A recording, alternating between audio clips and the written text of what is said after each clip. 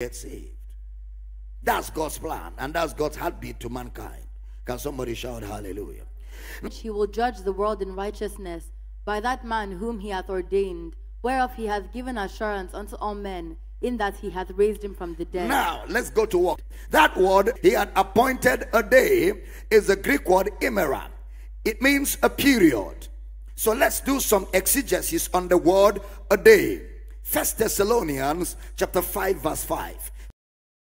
Ye are all the children of light and the children of the day. We are not of the night nor of darkness. Take note of the word children of the day. Verse 8. But let us who are of the day be sober, putting on the breastplate of faith and love, and for an helmet the hope of salvation. Underline the word the day. Romans chapter 13, verse 12. The night is far spent, the day is at hand. Let us therefore cast off the works of darkness, and let us put on the armor of light. Underline the day is at hand. Second Peter chapter 1, verse 19. We have also a more sure word of prophecy, whereunto ye do well that ye take heed, as unto a light that shineth in a dark place, until the day dawn and the day star arise in your heart. Until the day, underline the day dawn and underline the day star. John chapter 9, verse 4.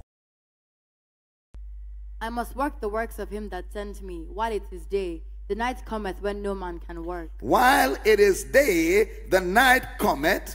So notice the word the day is in comparison against the night. Every time he talked about the day, he talked about the night. The day is light as against darkness. So what happens again in Acts 17 31? Because he hath appointed a day in the which he will judge the world in righteousness. By that man whom he had ordained, whereof he had given assurance unto all men, in that he had raised him from the dead. He has appointed a day in which he will judge the world. So, what will happen that day? Judgment. All right? Now, don't forget judgment. Judgment is to distinguish. All right? Judgment. And the judgment will be in righteousness. Righteousness by that man. The judgment will be in righteousness by that man whom he hath ordained. So the judgment will be in him being raised from the dead. Look at the scripture again. Whom he hath ordained, whereof he had given assurance unto all men, in that he hath raised him from the dead. That word judgment is the word krino. He will judge. Krino. He will distinguish. So we are back again to John chapter 3 verse 16 to 18. For God so loved the world that he gave his only begotten Son, that whosoever believeth in him should not perish, but have everlasting life. Mm-hmm. For God sent not his Son into the world to condemn the world, that the world through him might be saved. Yes. He that believeth on him is not condemned, but he that believeth not is condemned already, Is condemned already. Why? because he hath not believed in the name of the only begotten Because he hath not believed in the name of the begotten Son. Not because God has decided his condemnation, but because God gave him an offer of righteousness, but he rejected God's offer. So he's condemned already. Now, pay attention. The day of judgment is that resurrection. That resurrection of Jesus is the day of judgment. That is why God does not react, God proacts. The judgment of God will not be a reaction, the judgment of God will be a proaction. That is why the judgment is in the resurrection. And what he did, he gave us an assurance of that day when he raised Jesus from the dead. So already within the resurrection of Jesus is a judgment for both righteousness and unrighteousness. Within that resurrection of Christ. Pay attention. He says, by that man whom he had ordained, whom he raised from the dead. So the resurrection, the judgment will be in two folds. The judgment is in two folds. Number one, there is judgment in Christ's resurrection from the dead. And that resurrection is our salvation. That's number one. Then, number two, there is the resurrection, the day. The day. But He has given us assurance of that day. We already have assurance of that day now. Give me that Acts 17 31 and stay there. He says, Because he had appointed a day in the which he will judge the world in righteousness by that man whom he had ordained, whereof he had given assurance unto all men.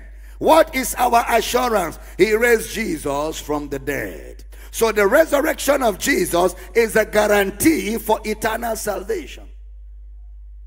You know, it's like people who say they don't believe in eternal salvation. Watch this briefly. I've been thinking about this.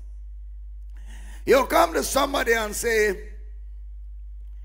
Receive Jesus into your heart. God loves you. And when you receive Jesus, his life will come on your inside. And you are free from condemnation. Then he looks at you and says, You, are you eternally sure? And you say, No, I'm not sure.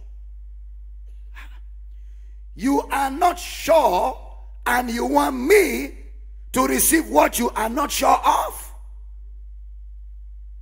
That is how they are who don't believe in eternal salvation. How do you market a product you're not sure of? Why do you want me to subscribe to what you yourself are not sure until that day? Let's wait when the day comes. We will know whether it's a product that we should receive or not. God is not that stupid. He has given us assurance. Did you see that? There is assurance of salvation. What is the assurance of salvation? Eternity. What makes salvation assured is that you are saved forever. That is the assurance. If you are not saved forever, then there is no assurance. If we are waiting until that day, then we shall know. Then there is no assurance. And friend, if I'm not assured of something, believe me, I will not market it to another person. Are you understanding? It's like somebody comes to me and says, Dr. Damina, there is an investment opportunity. If you invest a million naira in another 20 days, you will have a million two hundred thousand. 200,000 in 20 days? Have you invested? No. Thank you, sir. Have you invested? Yes. Have you received the profit? Yes. How many times? 10 times. That sounds like what I want to do. But if you just said one time, I'll say, okay, after some time, remind me. I want to be sure that you that have made yourself the product of experiment, that the experiment is confirmed on you. I don't want to join you and be a guinea pig. But I have news for you, friends. Our own salvation, not their own, is eternal. So we can boldly proclaim it to the world and get people to come to this salvation because in this salvation you have no part to play. The soter is the one who guarantees his work. Can somebody shout hallelujah? And that is why when you receive the salvation of Jesus, it is called entering into his rest. You enter his rest. That's why, if you look at the way Brother Paul wrote this, because he had appointed a day in the which he would judge the world in righteousness by that man whom he had ordained, whereof he hath given assurance. There is assurance unto all men in that he raised him from the dead. Listen carefully now. He gave assurance is the word pistis, the word faith. Faith in the resurrection from the dead. In that he raised up Jesus from the dead. So the judgment is in the resurrection. It is in the resurrection. It's not after the resurrection. The judgment is not in people dying. The judgment is in his resurrection. And it is in that resurrection he exposes the dead in unbelief.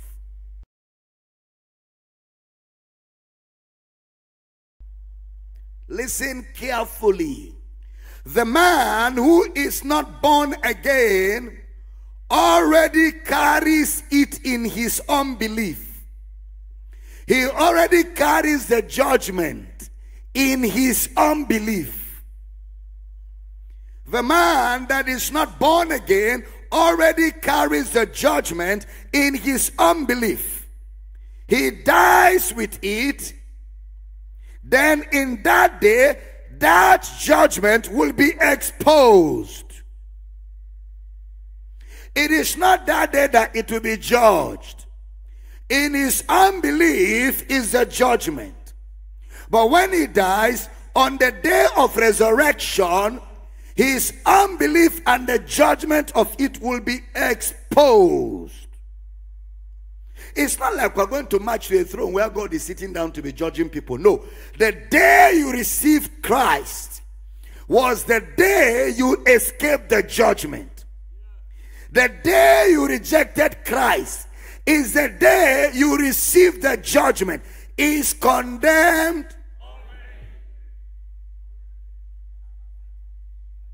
So the judgment is in the unbelief. When a man dies with it, on the day of resurrection, the light of God will expose the death in the unbelief. That's why the judgment of God is exposing death, exposing sin. All right? Now, so the full import of a man's unbelief will be seen on the day of resurrection. The full import. Just like the full import of our salvation will be seen on the day of resurrection. Do you know that at the end of the day, all we have believed for are eternal things? All. Once this mortality drops, the only thing we are left with are eternal things. The only thing. If we remove the resurrection of the dead, what we call rapture from Christianity, we are finished. If we remove the resurrection, that's why it's called the blessed hope. If you remove the resurrection of the dead from Christianity, we are done for. That's why it's called the blessed hope. Because it is in that resurrection that the full import of our faith in Christ will be made manifest. Are you following here? Yeah. It's in that resurrection. Now listen carefully. It's as if our hope is only in this world where of all men most miserable. So, with all your breakthroughs, you know breakthroughs? With all your breakthroughs, breakthrough, breakthrough, breakthrough, new season, next level, open heaven, supernatural progress, overtake your overtakers, is all about cars and houses and money and material things. Once this body drops, they are all useless. None of them are of eternal value. None. So at the end of the day, that's why the gospel is not about a breakthrough. It's not about a breakthrough. Because these things are of no eternal value. Oh, don't get me wrong. It's good if you have a car, enjoy it. I have one myself. And when I drive my car, I drive without apology. Because that's why I bought it to drive and use it. But it, it is in no way to be compared with the least spiritual thing that is happening in my life. In no way whatsoever. The main thing of Christ's death is in eternity. The main advantage and benefit of the death of Christ is in eternity. So the main gist of Christianity is eternal. Eternal life is actually living forever. Unbelievers will not die and live forever. Unbelievers will die forever. Don't forget, resurrection is not life. Unbelievers will be raised to death. Believers will be raised to life. That's why I say, I am the resurrection and the life. Because resurrection is not life. So that a man is raised doesn't mean he's raised to life. He can be raised to death. Stay with me. In resurrection is the judgment. So we can say the day of resurrection is the day of judgment. That judgment will be on the day of resurrection. Now,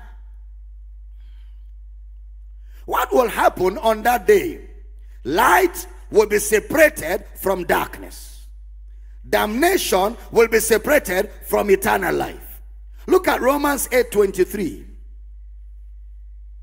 And not only they, but ourselves also, which have the first fruits of the Spirit, even we ourselves groan within ourselves, waiting for the adoption, to wit, the redemption of our body. To wit, the redemption of our body. Now, remember, light will be separated from darkness at the same time.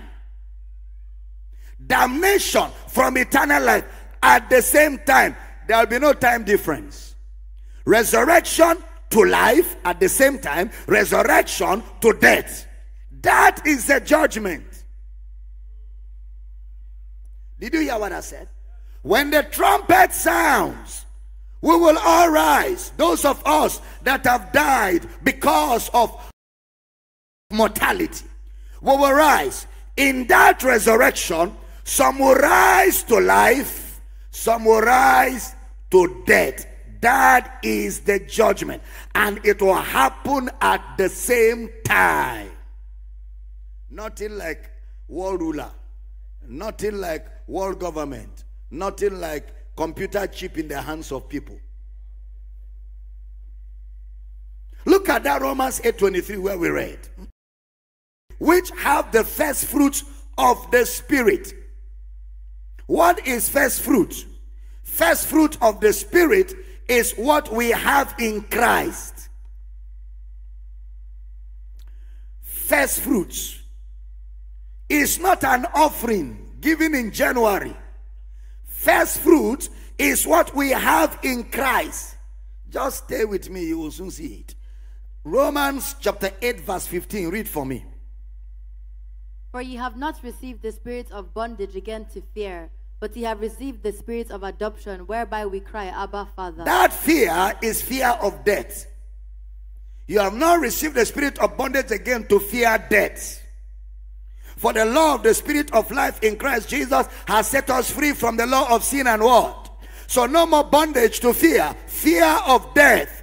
Who all their lifetime were subject to bondage because of the fear of death. But now you have passed from death to life. So no more fear of death. No more fear of damnation. Why? We have the assurance of resurrection. Somebody shout hallelujah. We have the assurance of resurrection. So that receiving of the Spirit is the first fruit. The day you receive the Spirit, that is the first fruit. So we have the first fruit of the Spirit or the work of the Spirit. That means the work of the Spirit starts at the point you got born again. Look at it in Romans chapter 8, verse 14. For as many as are led by the Spirit of God, they are the sons of God. Sons of God, 15. For ye have not received the spirit of bondage again to fear, but ye have received the spirit of adoption. Take note of the spirit cry- of adoption where we cry, Abba Father, 16. The Spirit itself beareth witness with our spirits that we are the children of God. We have the same spirit. It bears witness. Same spirit. So, sons of God, spirit of adoption, same spirit. Then he says the first fruits. The first fruit is called the earliest or the early in a harvest. The early harvest is called the first fruit. Is that true? And the first fruit is usually not a grain, it's a bunch. The first fruit is a bunch. Now, pay attention. What came early to us from the resurrection of Jesus as first fruit is the spirit. The spirit of adoption is the first fruit of the resurrection, whereby we cry, Abba Father, we're born of God. We have the spirit of adoption. That is the first fruit. When harvest begins, the first thing you get, you know, that is what shows that it's a great season. So, first fruit is a proof of the rest that will come. First fruit is a proof of the rest that will come. Please pay attention. Pay attention. So, we have the first fruit of the Spirit or the indwelling of the Spirit. That's why it is called first fruit because kabato megea lebato bekeretekaya. I want you to be alive in the Spirit. We have the first fruit of the Spirit immortality.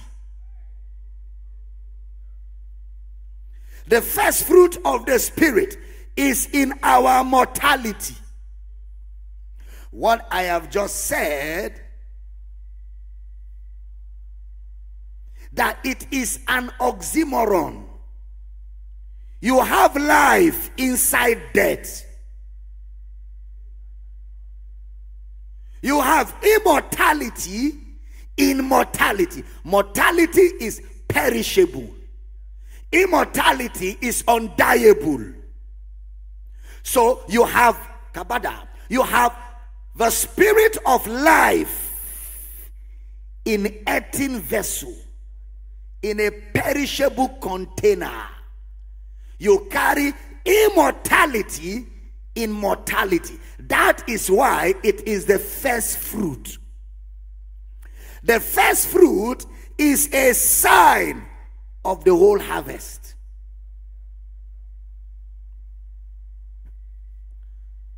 Zagalaba. So that's why he calls it first fruit. Then he now says, when we now experience the foretaste, blessed assurance, Jesus is mine. Oh, what a what what a what? First fruit. So we, we have the foretaste in our mortality. So because we have tasted the first fruit and it is a wonderful experience, we now groan. We want to throw away this body so we can take the entire harvest. I don't know if you're understanding what I'm saying. So, in our mortality, we have the life of God. However, this body does not allow us the full expression. So, in our desire to drink all of it, we groan to remove this mortality. Yeah. Now, stay with me. So, there's a conflict you know, there's a conflict. That's what Paul called the sufferings of this life are not worthy to compare. The suffering is a conflict. The conflict in your body, the conflict in your mortality. You know that what you have is glorious, but there is a container restricting you from enjoying the full glory. Yeah, it's called sufferings. You have the spirit in a body that is subject to corruption. So you have the incorruptible in corruption. The incorruptible is in a corruptible container. Now, the spirit is eternal. And it's the same spirit that raised Jesus from the dead. Eternal. And it's the spirit that will raise your own body. Did you hear that? The Spirit raised who from the dead? He raised Jesus. That was the proof that if that same Spirit is inside you, the same thing it did with Jesus, it will do with you. That's a guarantee of your resurrection. That's why it's called the seal of redemption. That's why if you have the Holy Ghost, you don't pray for rapture. The Holy Ghost is the rapture. The rapture will be the Holy Ghost. The same Holy Ghost that raised Jesus from the dead. Death couldn't keep Jesus down. Death couldn't tie him down. On the third day, resurrection took place. That same spirit is inside you. On that day, Kabayana.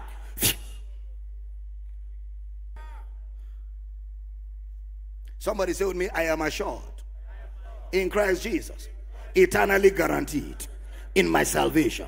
Can I hear a good amen? So the Christian walk now cannot be all. This is not all that there is. No. This is not all that there is. This cannot be all the benefits. No. There's more. There's the better. Greater glory. Hallelujah. This one we have now is called the first fruits. You know that actually there are two adoptions in Romans chapter 8. Two adoptions. There is a spirit of adoption, and then in verse 23, there is the adoption of our bodies. Two adoptions. How many adoptions? Number one, the spirit of adoption. Number two, the adoption of our body. So, in our spirit, we are sons of God, but in our bodies, we are not. So then comes the adoption where our bodies will be placed like the son. Look at the word first. First Corinthians 15 20. But now is Christ risen from the dead and become the first fruits of them that slept. And become the first fruits of them that sleep. Talking about the resurrection of Jesus. The resurrection of Jesus is called the early rain. Our own resurrection is called the latter rain. It's not a move of the spirit.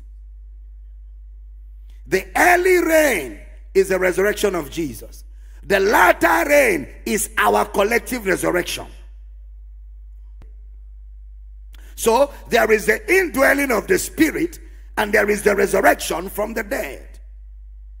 Now, Romans chapter 8, verse 23. And not only they, but ourselves also, which have the first fruits of the Spirit, even we ourselves groan within ourselves, waiting for the adoption, to wit, the redemption of our body. Romans 11, 16. For if the first fruit be holy, the lump is also holy. And if the roots be holy, so are the branches. Romans 16, verse 5. Likewise, greet the church that is in their house. Salute my well beloved Epaenetus, who is the first fruits of Achaia. So, do you see Christ. that first fruit is human beings? It's not money. Did you observe? First fruit is human beings, it's not money. He said, Salute my well beloved Epaenetus, who is the first fruit. So, Jesus is our first fruit by resurrection, and those who got born again early in a church are called first fruits. Now, if you observe, the previous verses we have read is all human beings he's talking about. Now, let's read more so that it's clearer. First Corinthians 16 15. I beseech you, brethren, you know the house of Stephanas, that is the first fruits of Achaia, and that they have addicted themselves to the ministry of the saints. They have addicted, which who have addicted? First fruit. The first fruit have addicted themselves. It's not money. Okay. James 1 18. Of his own will begat he us with the word of truth, that we should be a kind of first fruits of his creatures. Who should be a kind of first fruit? Us. Revelation 14 4. These are they which were not defiled with women, for they are virgins. These are they which follow the Lamb whithersoever he goeth. These were redeemed from among men, being the first fruits unto God and to the Lamb. redeemed from among men being the first fruit men being the first fruit. I'm sure with this my few words. With these few points of mine i have successfully convinced you the first fruit is human beings. First corinthians 15 20 now But now is Christ risen from the dead and become the first fruits of them that slept. He has become the first fruit of them that slept. He was teaching on the resurrection of the dead. Now, So in verse 20, he says, Jesus is the first fruit of them that slept, meaning his resurrection is the first fruit of our resurrection. All right, now give me verse 21 and 22 of the same chapter. For since by man came death, and by man came also the resurrection of the dead. Yes, 22. For as in Adam all die, even so in Christ shall all be made alive. Then 23. But every man in his own order, Christ the first fruits, afterward they that are Christ at his coming. First fruit refers to Jesus and the saints before he came. And you will see it now. Matthew 27 51. And behold, the veil of the temple was rent in twain from the top to the bottom, and the earth did quake, and the rocks rent. Right? And the graves were opened, and many bodies of the saints which slept arose, Next verse. and came out of the graves after his resurrection, and went into the holy city, and appeared unto many. So that event is the first fruit. When he rose, he rose with the Old Testament saints who believed. Him and them are the first fruit. The first fruit is not one, is a bunch. Him and the Old Testament believers rose. That's the first fruit. That first fruit is the first fruit of our own resurrection.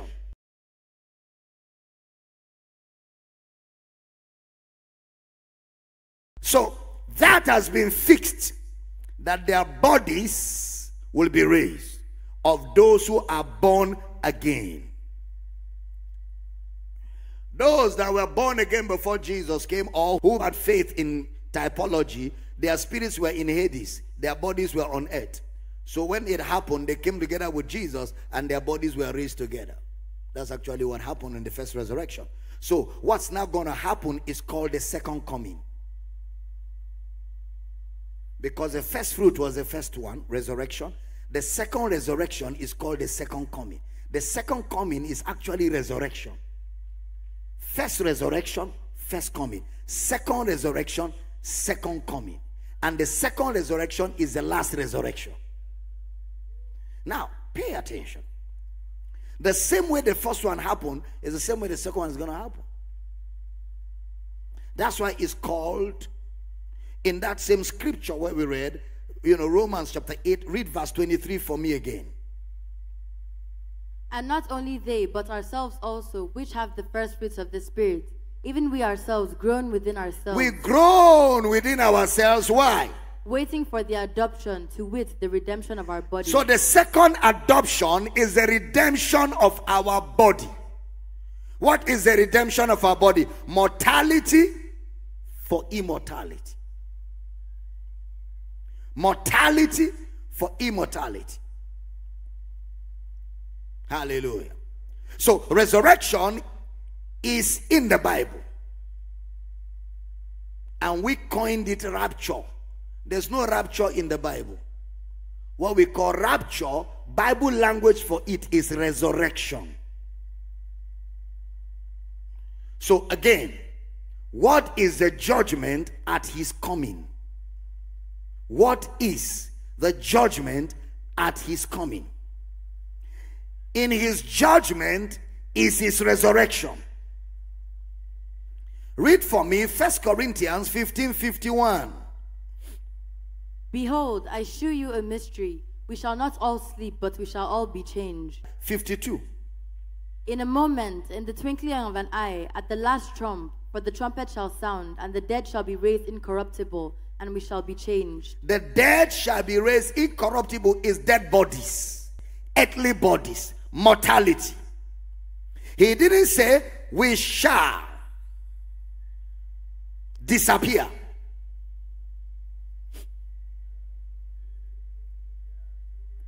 He didn't say we shall, but he said we shall be. So it's not a disappearance.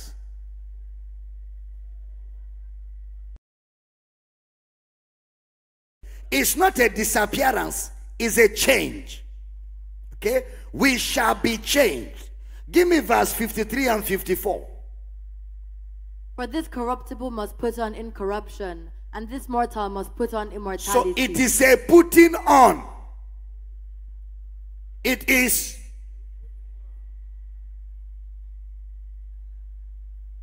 We will collect, don't bother. We will collect the immortal body and we will wear it. In the wearing of it, mortality disappears. Do you understand? It is not disappearance. On that day, just before you go hold your leg, you're watching movie too much. It is not a going, it is a wearing. It is not a travel, it is a wearing. Heavenly race, it is not a race, it is a wearing. You grab it, the grabbing of it will be done by the spirit that is in you. The spirit will just clothe you. The Holy Ghost will wear you the cloth. Once the cloth covers you, mortality is gone. You are in the realm of the immortal. Am I talking to somebody? It's, it's not going to be in the twink, twinkling of an eye. In the twinkling of an eye. Read for me the next verse here. So when this corruptible shall have put on incorruption, and this mortal shall have put on immortality, then shall be brought to pass the saying that is written, Death is swallowed up in victory. Did you see that? What? When this corruptible shall have put on, put on, put, put on incorruption, and this mortal shall have put on immortality, then shall be brought to pass the saying that is written, Death is swallowed up in what? So when believers die, they have not failed. When believers die, they have not messed up. They only slept, awaiting the victory that is already theirs. They won already. They have won in Christ. Hallelujah. Give me 55 to 58. I feel like dancing. O death, where is thy sting? O grave, where is thy victory? Hmm. The sting of death is sin, and the strength of sin is the law. Yes. But thanks be to God, which giveth us the victory through our Lord Jesus Christ. Thanks be which giveth us who? Through who? Our Lord Jesus Christ. Now, then look at the next verse. There's something instructive there. Therefore, my beloved brethren, be steadfast, unmovable, always abounding in the work of the Lord. For as much as you know that your labor is not in vain in the Lord. Actually, what is? For as much as you know that your labor is not in vain things. Your labor is not in buying cars. Your labor is in saving souls, which is eternal investment. The believer should not be seen laboring to acquire material things. The greatest labor of the believer should be investing in eternal things. We are men of eternal value. Your labor is not in vain things. And you will soon find out why you shouldn't spend all your energy in vain things. You will find out. Just stay with me. Paul said, to be present with the Lord is to be absent from the body. So, the need for your body is earth. Outside of this earth, you don't need this body. This body is only useful on earth. Once earth gives way, this body is useless. You don't need it in eternity. Now, First Thessalonians chapter 4 verse 13 to 18. But I would not have you to be ignorant, brethren, Hey. concerning them which are asleep. Yes. That ye sorrow not. Sorrow not. If a brother in Christ sleeps, sorrow not. He's not lost. Read on. even as others which have no hope. Yes. For if we believe that Jesus died and rose again, even so them also which sleep in Jesus will God bring with him.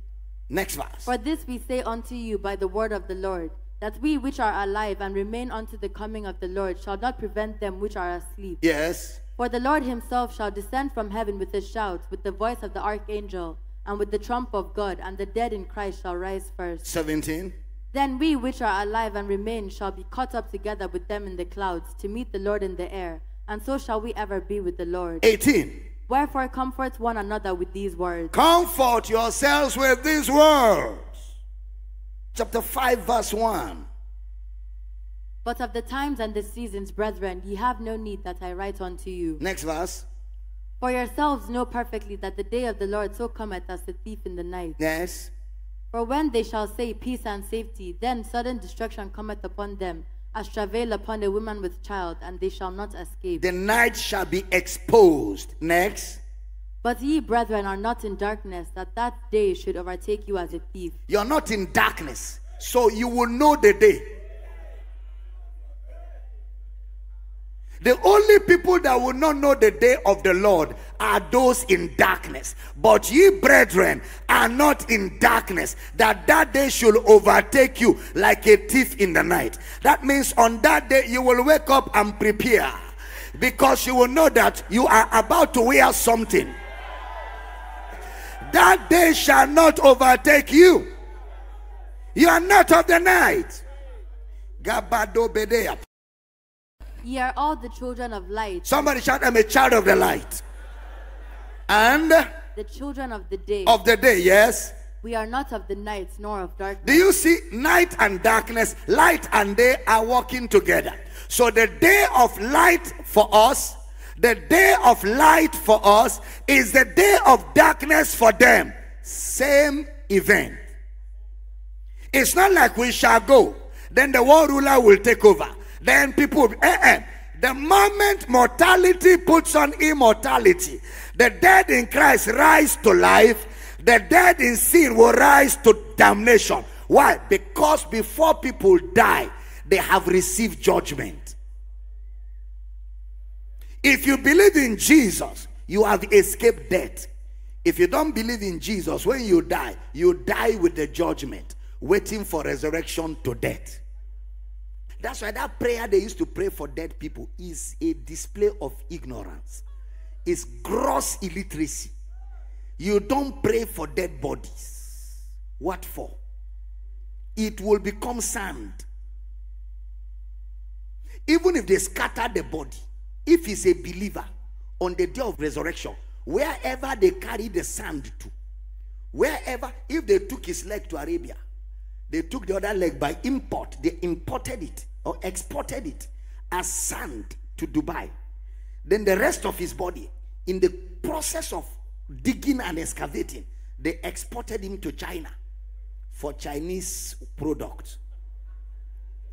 When the trumpet sounds, that entire configuration, wherever it is around the world, will gather together and it shall be changed.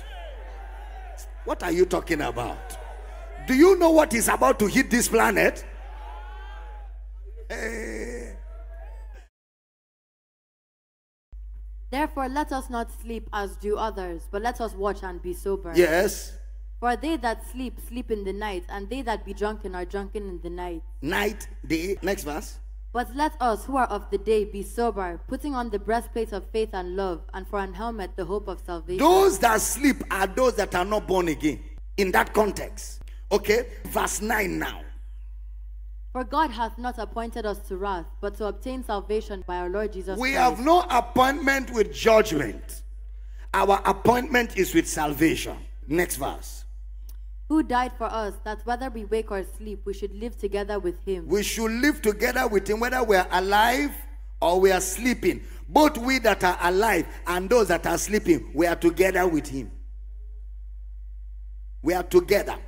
Now, night and day will happen at the same time. But night will be exposed by the day. So destruction and resurrection will happen at the same time.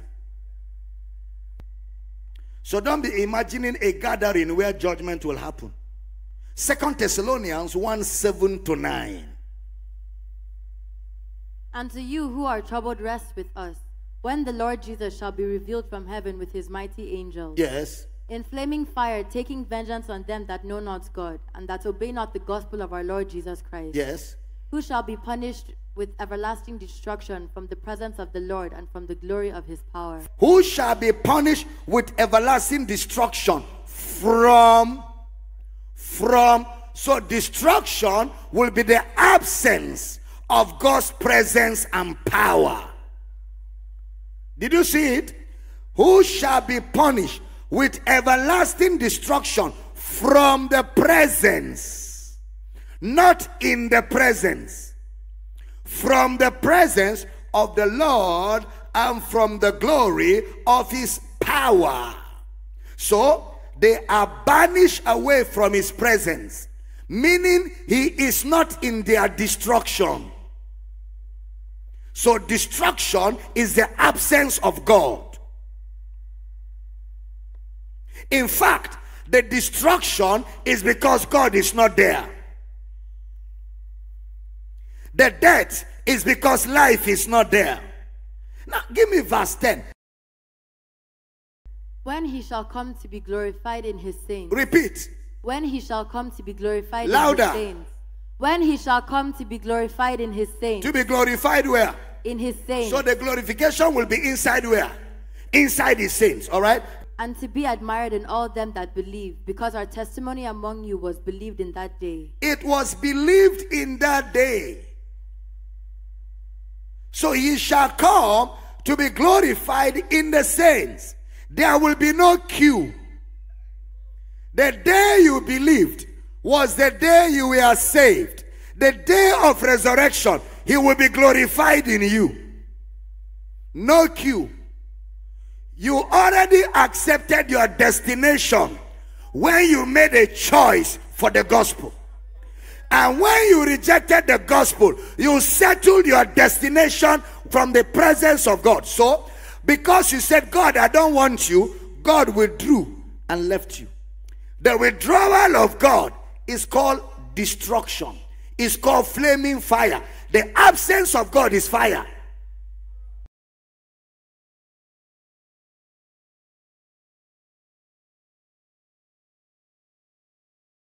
So, the resurrection of the church is the destruction of the unbelieving man.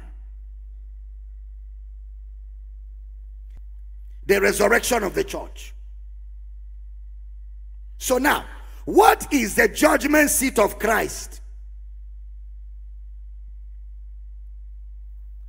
I want you to remove your religious glasses now and throw away your religious caps.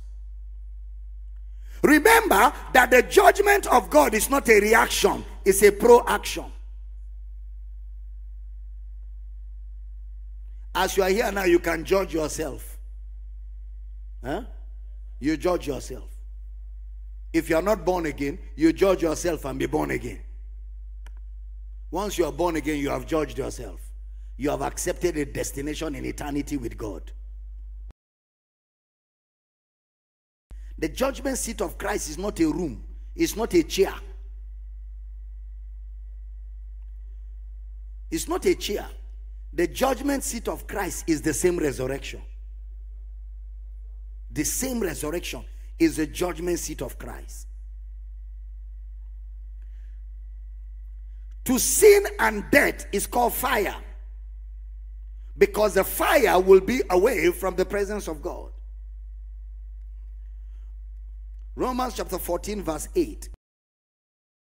For whether we live, we live unto the Lord, and whether we die, we die unto the Lord. Whether we live, therefore, or die, we are the Lord. Did you see that? Whether we live or we die, we are the Lord. That a brother die does not derighteous him. Next verse.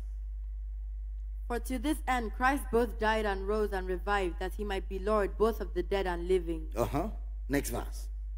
But why dost thou judge thy brother? Or why dost thou set at naught thy brother? For we shall all stand before the judgment seat of Christ. We shall all stand before the judgment seat of Christ. Now, if your mind is not renewed, you'll be imagining a long queue.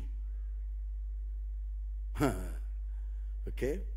But Paul was using a language of communication to bring out a truth. Now, pay attention. Next verse. For it is written, As I live, saith the Lord, every knee shall bow to me, and every tongue shall confess to God. If you notice, he is talking to the believer. Okay, verse 12. So then every one of us shall give account of himself to God. So we shall all, talking to believers, all of us here, shall give account of ourselves to God. Hmm. Now, in First Corinthians 6 2, he said, We shall judge the world. Know ye not that you shall judge the world? Our judging the world is not we sitting on a throne and unbelievers are coming. Do you know how we shall judge the world? As we go to preach, Christ died, he was buried. On the third day, he rose for your justification. And you can receive life now. Once we preach that message, we brought judgment. If the man accepts the message, he has escaped judgment. If he rejects the message, with our message, we have judged him. So the preaching of the gospel is the message of life and at the same time, the message of judgment. How many of you remember the scripture says, Whoever sins you forgive is forgiven, and whoever sins you retain is retained? How do you retain people's sin? By not preaching. How do you forgive people's sins? By preaching to them. When you preach, they receive, they receive the forgiveness of sins. So we are the ones judging the world by the gospel that we preach. It's not a throne where we will sit down on a big chair. There is no, that one is Nollywood drama. Glory to God. So, judge means to distinguish. So, we shall distinguish the world and we shall distinguish angels in the resurrection. Look at the Bema seat of Christ. That judgment seat is called Bema seat. Bema. Bema seat. That Bema seat is where we get the word komizo. Komizo is used 10 times. 10 times for compensation. For compensation. Like you work for something and you get it. So that day is called the judgment seat of Christ because that is the day when we shall be compensated for what we have done well and what we have not done well. The compensation will be for what we have done well and what we have not done well. Hebrews 11 19, read for me accounting that God was able to raise him up, even from the dead, from whence also he received him in a figure. 39. And these all, having obtained a good report through faith, received not the promise. Now pay attention to Colossians 3.25. But he that doeth wrong shall receive for the wrong which he hath done, and there is no respect of persons. He that doeth wrong shall receive for the wrong which he has done. Ephesians 6 8. Knowing that whatsoever good thing any man doeth, the same shall he receive of the Lord, whether he be bond or free. Any good thing a man does, he shall receive from the Lord, whether he is bond or free. So, if you do wrong, you shall be rewarded. If you do good, you shall be rewarded. Did we read that? Good and bad will be rewarded. Now, so if you have done evil, you get evil. So, knowing that the Lord does not give evil, where will the evil come from?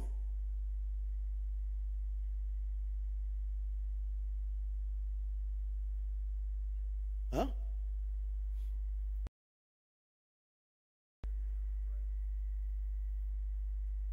Huh? Where will the evil come from? Okay, keep that and pay attention because I will answer it with scripture. The word Bema seat is used in the Roman Empire. Bema is where Pilate sat down and told them to go and crucify Jesus. It's not a nice seat like that. He only used it to explain. Bema seat. You will find it used in the following scriptures and you can read them for personal study. Matthew 27 19, John 19 13, Pilate used it is used for all rulers of Israel. Acts 7:51, Acts 12 21, Acts 18 12, Acts 18 17, Acts 25 6, Acts 25 10. Now you see it used in context. Romans 14 10. But why dost thou judge thy brother? Or why dost thou set at naught thy brother? For we shall all stand before the judgment seat of Christ. Before the Bema seat, the judgment seat of Christ. Second Corinthians 5 9 to 11. Wherefore we labor, that whether present or absent, we may be accepted of him. So we labor so that we can be accepted of him. Next verse. For we must all appear before the judgment seat of Christ, that every one may receive the things done in his body, according to that he hath done, whether it be good or bad. So every man will receive whether he has done good or bad. Next verse. Knowing therefore the terror of the Lord, we persuade men. That word terror is the reverence. The reverence. That is because we reverence God, we persuade men. It's not terror like in terrorist. Because we reverence God, we persuade men. Continue. But we are made manifest unto God, and I trust also are made manifest in your consciences. Yes. For we commend not ourselves again unto you, but give you occasion to glory on our behalf, that he may have somewhat to answer them which glory in appearance and not in heart. So the reason why we preach is because we have the awe of God. We have reverence for God. Have, that's why we go for evangelism. We have reverence for God. So let's look at that resurrection again because I want us to look at that judgment seat of Christ. That judgment seat of Christ is what we call the rapture. Rapture. That's the judgment seat of Christ. And it is only used for those who are on earth at that point. He will appear in flaming fire. That fire is the absence of God that will destroy sin and death. That's the fire. The absence. God will appear and his appearance will expose fire that will destroy sin and death.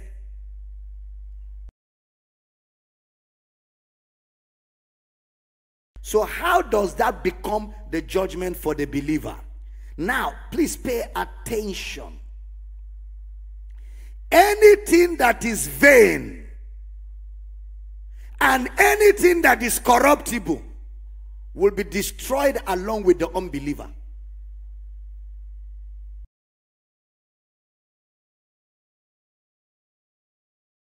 That's why it says our faith is not in vain things. Vain things. So that's why Brother Paul now says in First Corinthians 3 12 to 15. Now, if any man build upon this foundation gold, silver, precious stones, wood, hay, stubble. What is the foundation? Eh? What is the foundation? When you got born again, on what were you born? On the foundation. Who is the foundation? Christ. So your salvation is assured because you are in Christ. However, in Christ, you are building. The foundation is sure. Make sure that what you are using to build on the foundation is also sure. Because, verse 12, if you use gold, silver, precious stones, wood, hay, stubble, all of these are materials for building. Next verse. Every man's work shall be made manifest. For the day shall declare it, because it shall be revealed by fire. And the fire shall try every the same fire that will destroy sin and death is the same fire that will try the works. And if the works are vain works, they will be burned. But that fire of sin and death cannot burn incorruptible work. It's not going to be a lot, it's going to be at the resurrection. As we are raised from corruption into incorruption, and the unbeliever is also raised, the same judgment that will take them out is what will try the works. The works. That judgment. The works. Now give me the next verse.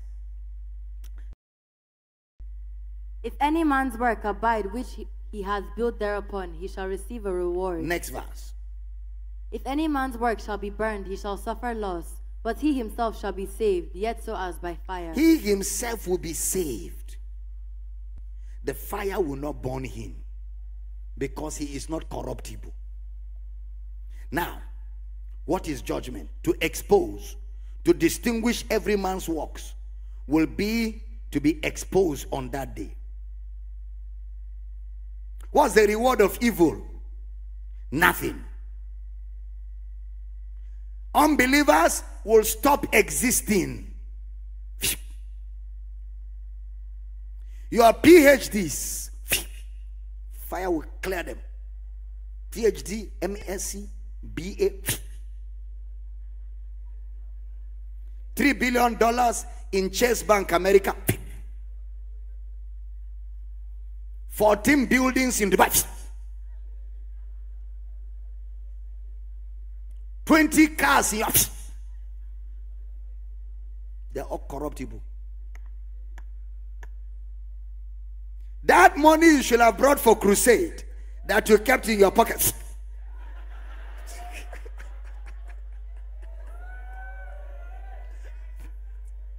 it will be burnt.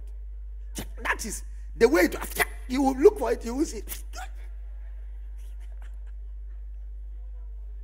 That small kiosk that is keeping you from Bible study. All the biscuit and home of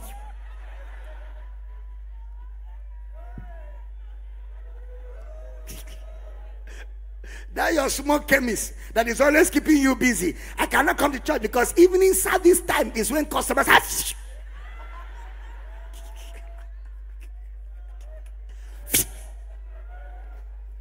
Those are all vain things.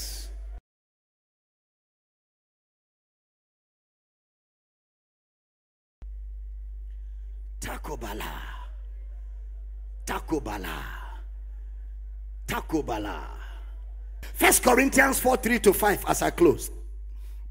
But with me it is a very small thing that I should be judged of you, or of man's judgment. Yea, I judge not mine own self. Next verse. For I know nothing by myself, yet am I not hereby justified. But he that judgeth me is the Lord. Verse 5 carefully. Therefore judge nothing before the Judge nothing before the time. Until the Lord comes. Yes. Who both will bring to light the hidden things of darkness. Did you see God's judgment? God's judgment is bringing to light, is exposing.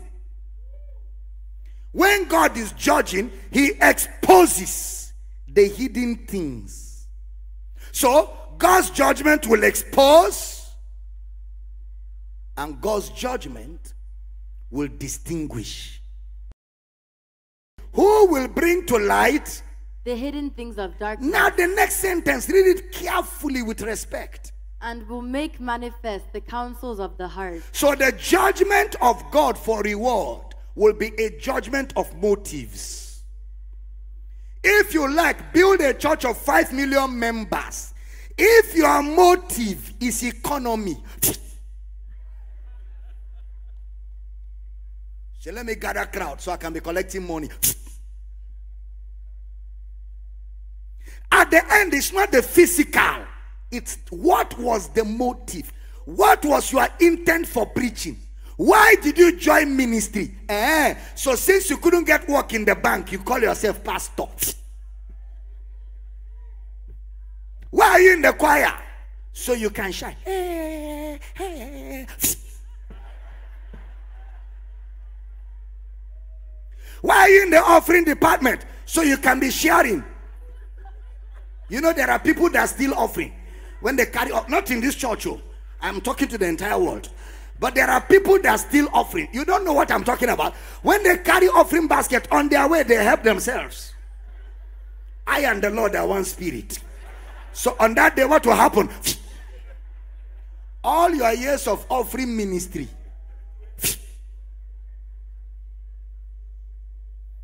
There are people that come to church to look for wife. There are people when it's praise worship, they dance so that they can get people's attention. At the end of the day, all the physical things you have gathered will not be seen. It is your motive. That is why God's reward is not for crowd, money, and fame. What is the motivation for what you are doing? That is what will appear for judgment. It's not going to be um, physical achievements. The physical, God is not inventing. It's your heart, the counsels of the heart. That is what will be exposed. Because now we don't know what is in your heart. We are seeing you very active. Only God knows why you are active. Maybe you are impressing a sister that you want to marry. So you become very busy, sweating all the time.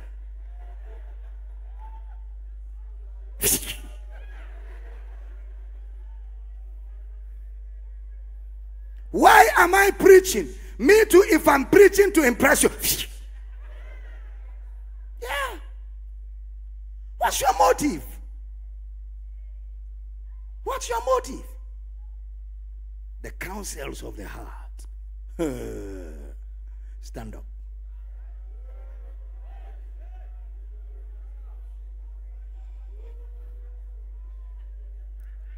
Bodagaya. Why are you playing keyboard? to show us skill. Bang, bang, bang, bang, bang, bang, bang, bang, bang. You are looking to see if everybody is looking. eh?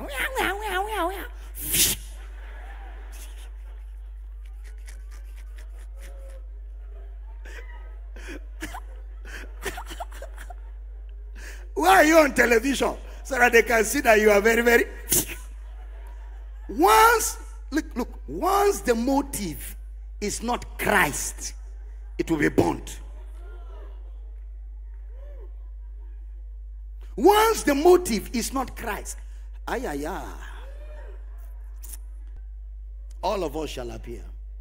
And you know, this burning is not going to be after we have settled down, it's on arrival. As soon as the trumpet sound, boom. You know, some people think because ah, that man of God is always doing crusade in heaven, he will have crowd. Before you will see him in heaven, all the crowd, if his motives are not correct. But the man after will be saved. after all his works are burnt, he will be saved. So that you will see him without a thank you. Say, ah, that man of God with all the mega crusade, Jesus didn't say thank you to him. The team born before Jesus say thank you. So be unmovable, always abounding in the Lord. For as long as you know that your labor is not in vain things, don't labor in vain things. Be men and women of eternal value. Let your heart be set on eternity. Let your heart be eternity driven. Let your heart be changing lives driven. Let your heart be saving souls driven. Say, I hear you. Thank you, Father. Father, I pray for everybody in this building on Facebook, television, YouTube, and all our campuses that these words have come to straighten us out and keep us more focused and more dedicated to the only cause that is ours, and that is the advancement of your kingdom. Thank you for our vision to reintroduce Jesus to this generation, equipping believers to know who they are in Christ, what they have in Christ, and what Christ can do through them. And we are resolute, we are focused, we are dedicated, and we are passionate about this assignment. And Lord, we are dedicated to this cause that the entire blue marble planet will be flooded with the fragrance of Jesus, that the work of Christ will not be wasted for those whom he died for. So I decree in this building, you are strengthened with might by the Spirit. You are laboring in and out of season. You are kept by the power of God. Your labor shall not be in vain. In the name of Jesus. And I decree and I declare that we are focused on this cause and we are committed to this assignment. I pray for everybody hearing the sound of my voice You will not be weary in well doing. In the name of Jesus. Great grace is upon you. Great grace is upon you. Great grace is upon you. In Jesus' precious name. And every believer says a powerful amen. Welcome back, ladies and gentlemen. Welcome back. Oh my goodness, what a service, what a word. I believe you've been impacted, affected.